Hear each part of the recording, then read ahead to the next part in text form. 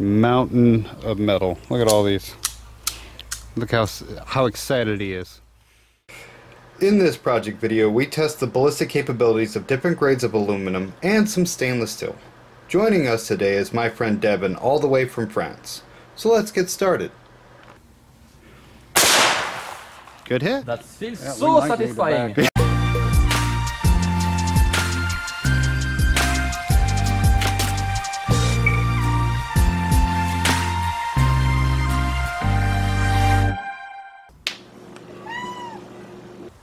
Hi everyone, and welcome back to the channel. So today we're going to be doing something a slightly different. I have 11 different samples that we recently went out and shot, me and Devon here, that are comprised primarily of metal. They either have aluminum or steel integrated in them, as we were trying to come up with some different solutions that didn't necessarily rely on ceramics versus rifle rounds, and also trying to compare some other samples of aluminum. Previously on this channel, I've already done a pretty extensive test of 7075. You may remember this guy right here, like I mentioned Devon, because he was available for it. Well, we flew him out from France, all the way from France. He came out and got to shoot the guns for the first time, and uh, we came up with some, I feel, pretty interesting uh, tests and some things that might be relevant to build off of. So, um, how have you liked being in America? So far, it has been great. I've been able to test a lot of new things that I would not have really been able to test in France. So yeah, it has been a very positive experience so far. I liked it. Right, not to mention you rode in a tank. Clip of that. Shotguns, tested, tried some new food. I've been able to be here for the 4th of July to play Yeah. the fireworks. Yeah, Fourth of That July. That was nice. Yeah, yeah, and flamethrower. Flamethrower as well. Yeah. Yeah. So, so anyways, this is a pretty kind of a hot. It kind of might feel like a hodgepodge, but we'll try to break down the exact reason why we selected these things and why we wanted these very specific combinations. What kind of maybe surprised us by the end of these, and really um, how you could improve upon these different ideas. Because yet again, we're seeing aluminum being quite successful at stopping at least pistol rounds. And that's a very exciting thing because aluminum is quite light and fairly cheap. So let's get started. So the focus of these experiments were around three different alloys of aluminum. 7075, 6067, and 5083. And 304 stainless steel sheet. Some of these samples were just standalone with nothing else added, while other samples were layered with other materials such as high density polyethylene, very high molecular weight polyethylene, ultra high molecular weight polyethylene, and polycarbonate plastic sheet. Others had fabrics such as polyester or ultra high molecular weight polyethylene fabric added as backers. Some had porcelain added as a strike face as well. We were sampling multiple different configurations to compare to previous results shown on this channel and ones that we found elsewhere. All layered samples were duct taped together as we didn't have time to use resins or other types of adhesives to bind them together. As such, we were able to crank out 11 samples in very short order. We did a scaling of ballistic threats. For pistols, we started with the 380 and the 38 Special, then on to the 45 ACP, and then the 357 Magnum. For rifles, we used the 223 out of the Mini 14 and the 7.62 by 39 out of the SKS. All ballistic threats were full metal jackets. There were also some tests we've done with the 44 Magnum, but we'll talk about that in a little bit. For now, let's go ahead and get on to the ballistic footage. Mountain of metal. Look at all these. Look how how excited he is. so we're going to start, of course, with the pistol rounds, doing 380, 38 special, 45 ACP, 357 Magnum, and I also have a 44 Magnum out today. So get a pretty nice diverse range of pistol calibers. Sadly, I forgot the chronograph because I'm dumb. So, however, we will still give the full metal jacket and the weight of the projectile. So, all right. Special full metal jackets. Let's take a look. Hit that one. Earplugs came out a little bit. There we go. Second one. See about plate number nine. Oops. Didn't rotate. There we go. Shot a little high. Got her. All right, let's approach. Bulge, but no pass through. Look at that sucker flattened out. Look at that, it just opened that sucker up. There's the impact, no pass through. I don't know what grade aluminum this is. That's a 5083. 5083. Thank you. Right there's the bulge. I guarantee you we flip it over. This is really light stuff, man. And this one was, uh, Devon, do you remember? That's the alumina cast? I suspect it to be 5083 because it is Alka 5. Okay, so these are both 5083. It's supposed to be the same. Okay, Different cool. is that this one is in flat condition, rolled out of the factory, and this one I hammer it down into Right. um, curvature, which might have hardened it a bit because it contains manganese, which is uh, which which causes the, the alloys to be capable of work hardening. Well, either way, that's a good sign for these grade, this grade of aluminum, and of course, this very thin steel plate was able to stop it. Yeah, boy! First time ever shooting a firearm. He's going to aim for that piece of what is it? 60. The aluminium on the center, the square one, is I believe 5083. Okay. Alka 5. Yep, but I mean, you know, even if you miss, it's no big deal, and uh, you know how to line up the everything. So, all right, Devon, you're good to go whenever you're ready.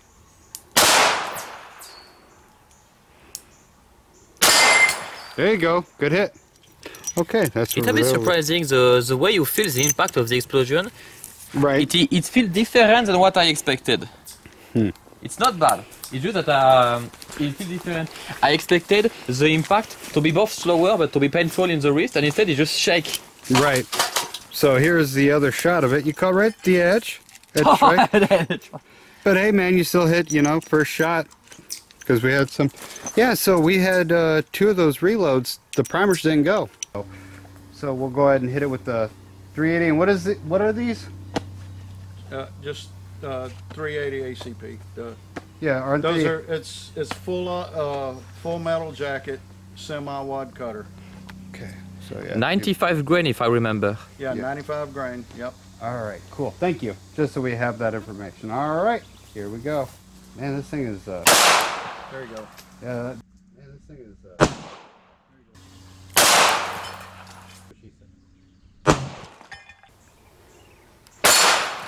Yeah, you hit it.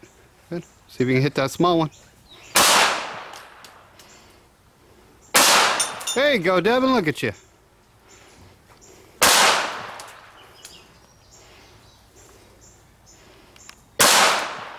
That was good and square.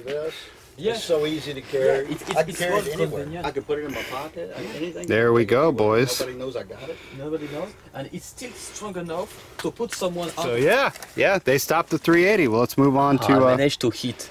I'm glad Yeah. I managed to hit something. all right, let's move on to the 45 ACP. Okay, what am I shooting? Which the Uh, those small three plates. triangle. Either one of them? Yeah, all three of them. Okay. Right? Yep. Yeah.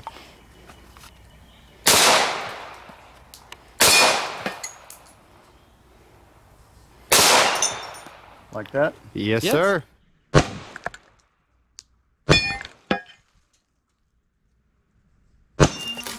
So you caught the edge there. But it still didn't tear it apart. It's still, uh, you can see a stopper. Yeah. And then for this one, we should have taken. I think that's it. That's It- that's it, it's very big big. one right. Big Yep. boy, big boy, And big look, boy. Oh, the small BFD here. Yeah. Look at that. Absolutely beautiful. And then the 45 was right here. Yep. And it's still attached in it. Yep, you can see. Yep. Big bird. Unga, unga. I don't know. Okay. You, s- you eat something. Wow. That's nice. Yeah, that was a bit of the leg came back. Just a bit. Wow. I saw it bounce back. Maybe you went through. I don't know. Actually, the 357 Magnum didn't go through. You hit it with the Magnum? Yeah, this is 357 Yep. Magnum. I, I just wanted, uh, I just was curious if you hit. I'm not sure where he hit it at, but he hit it. I think it's there. It might be here. Look at that. Oop. Here. I mean, Yeah, Good. I think that's yeah, probably it right yeah, there. because the 45 was here, if I remember. Right, yep. So that's the, the Magnum. It has to be the Magnum. Yeah. Oh, it, it stops the Magnum. Damn! Yeah. Where's the small piece of metal? It flew Small- right it, back it here. flew right Right back. here. at us.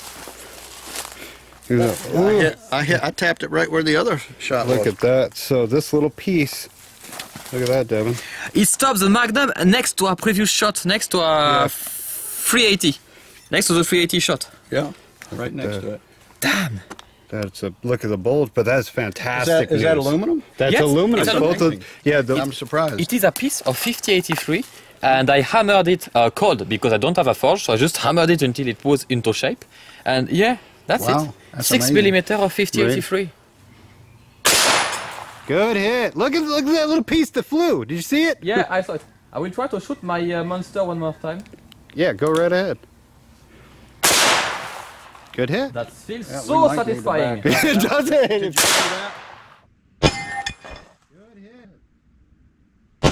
So we shot this plate with uh, all the things up up to 357 Magnum.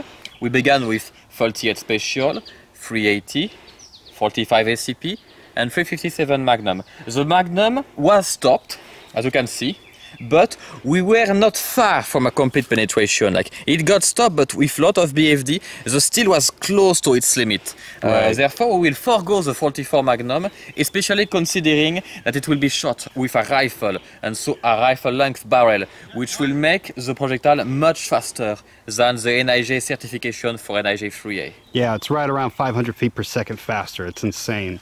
So yeah, good point. But we're gonna still try one on this. Yep, because So- this one held and did not uh, care at all. Like Yeah. very few BFD. Yeah, this piece of uh, Aluminum. of aluminium, this like 10 millimeters, like one centimeter thick, less than half inch for American users. eh, closer to 3 eighths, actually, slightly more than 3 eighths of an inch. And uh, yeah, even the Magnum did only get that. That's what Yeah. the 57 Magnum did to that. So uh, Good hit. Ooh. Okay, there it is. We've found the threshold. It's always that damn 44 Magnum. Yeah. Oh boy! Look at it. Isn't that amazing? That 44 Magnum is just no freaking And, joke. and that's not even full metal jacket. Well, we did something. I think I hit something. Oh yeah, dead center. Oh, Oh. right through both of them. Both! Oh man, look at that! Don't you love this? All right, so we're gonna move on to some rifle rounds for testing some different different grades of aluminum and some different combinations of plastic with steel. So we're gonna be starting off with the 7.62 by 39, just a normal full metal jacket. And depending on how they fare, we will do some other uh, tests. We have the Mini 14 and we have some even bigger rounds. So, all right, let's get started. All right. You hit it. Oh, it's so satisfying to hit. You hit it. I like this gun. Oh, What? You knocked two down. Go ahead and hit the other one. Yeah. When I feel it. Like, I, I, I feel it was when I first into the shoulder. Actually, it was not like So, something survived? Um, this survived somehow. I don't know where it. Back face is here. Right. Back face is here. So yeah, it stopped in that. Some, something got stopped, I guess. Yep. This one, number six, failed. Okay. Man. Oh, man. Look at that guy. Oh, no. Look. You can, you can see the fragments here. Yeah. Ah, dude. Actually, like actually, that, that's what is funny with 7075 is that the failure mode is a plugging, a brittle plugging. You see, the metal is not pierced technically. Yeah. It's not make a clean hole. He just take a chunk of the metal and bring it with him. Yeah, and it got caught up into the edge. I'm kind of curious, maybe because it was shot here, but it's not a lot of, not a very big sample. Yeah, we will have to, to retry that uh, that method with something else later and another day. I mean, Yeah. feel free to retry if you want. Yeah, I might do it with some ult- uh, more layers of ultra high because this Yeah. was only 15. Maybe if it was 15. 24. Yeah, and maybe a bigger sample because it's Yeah. fairly close, like the thing. Yeah, exactly. But, But- still interesting. It's an half failure, and I believe on a bigger sample with more ultra high, we could have stopped it. Right. Yeah. Yeah. But Yeah. And so this one failed. And yeah, that you one can failed. see the way it fell. Yep. It failed. It failed. This one failed. And this one failed. Okay. Okay, So- so, we had a retry on this one and this one. Yep.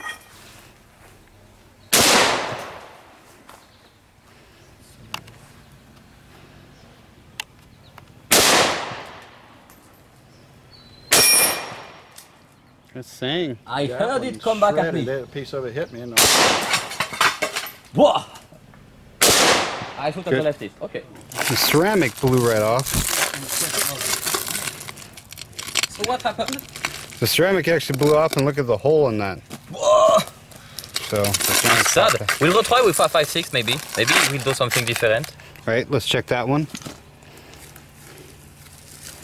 That stopped? It stopped. Not Sure far did. from going through, like last layer, Yeah. I believe. Yeah, but it still stopped it. Okay. Yeah. Oh, that one. Oh, that one is a failure. Like you can still see the. Well, actually, it, I don't think it went through. Look at that. Oh! I, I thought it was the back. I thought it was the back. That's why I expected. Oh, no, that's the That's that's the the front. Yeah. Look Oh. at that. Yeah. That stopped it. Nice. And here, this one was a failure. it was right there. Yep. So, and then let's check this one out. This was with the extra check face on that. Dude, that the ultra high molecular weight polyethylene with those two pieces of aluminum or those two pieces of steel stopped though. Oh man, man, so close, so close. So this is out of this Mini 14. It pushes about 3,000 feet per second. It's a 55 grain full metal jacket boat tail. Uh, and here's the IMR 4895 powder, 24.5 grains, CCI primers. Yep. So these are home loads. All right. Cool.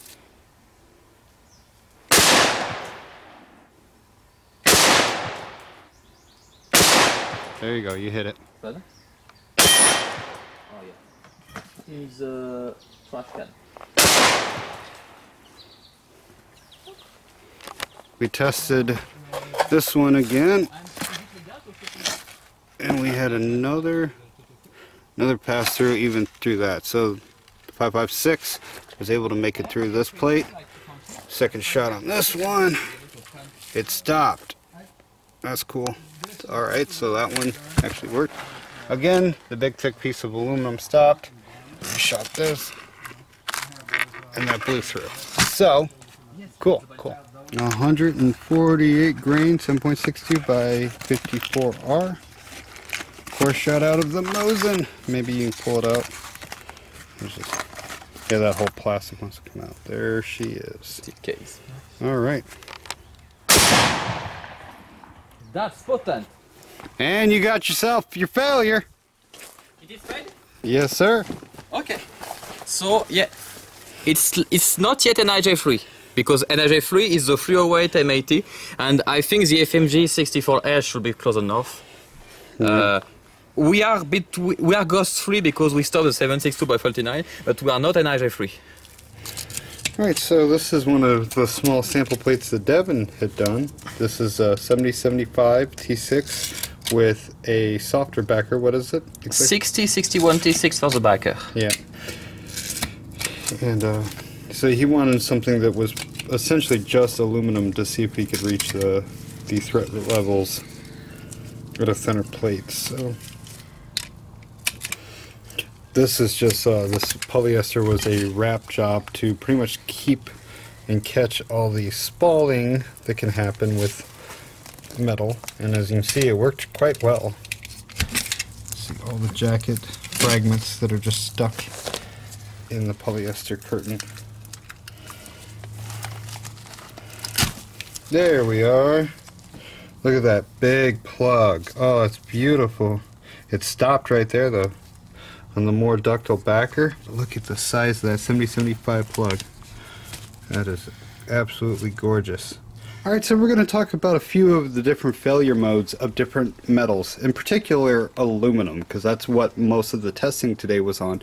And Devon, can you show us the different from like uh, delamination, um, plugging, brittle and ductile failures? Can you like kind of demonstrate and show? Sure.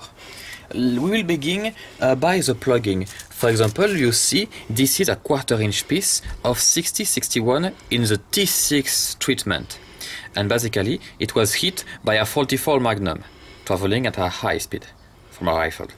And basically, what you can see is that uh, when it went flow, it pushed the part of the metal that was in contact with it got pushed flow there was such an energy transfer that the part of the metal that was, that was in contact with the projectile got uh, torn apart from the main metal plate and became in itself a new projectile. Right, it just popped right out. It so popped out and was sent away. And this is what when you describe it as like plugging, because it's just a perfect plug where the 44 Magnum was pushing against that with such force, and it sheared across that.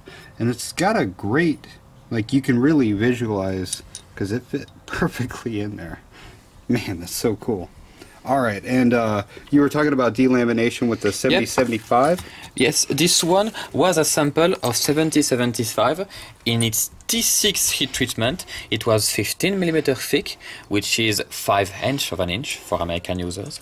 And basically, uh, this one uh, did not have a stiff backer. The backer was UHMVP, so no structural support to the plate. And what you see is that you had this small piece that was sand, similar to a plugging failure mode, but the difference, and you can see here, you can see some layers and you can see that the shape of the plug also is different. You can see that near the back it is bigger than near the front. You see, much more. Let's see if we can get a good focus of it. No, it decided that uh, everything but my hand should be focused on. Come on. It's okay. Yeah, we will take, we'll take a picture later. there we go. Yeah, we can we can insert some. Nah, it finally focused. So what he's talking about is you see the splitting Here's the splitting. along there. That's the effect of the delamination. So- Because basically, the plate being a rolled plate, the crystals have been stretched out. And so it creates almost layers, like ogres and onions. like ogres and And so basically, you can see it here. You can see it here. You, you see this layer, this piece of layer? hmm And you can see like the entry hole at this size, fairly modest. On the back, you see the main hole and you see the enormous amount of metal that is missing. Right.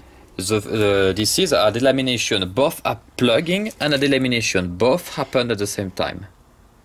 Right, and this one had it, but it had a stiffer backer. Yes, so this one uh, was shot by the same projectile, a 762 by 39. So both were shot, both are the same, and were shot by the same thing. The only difference is the backer.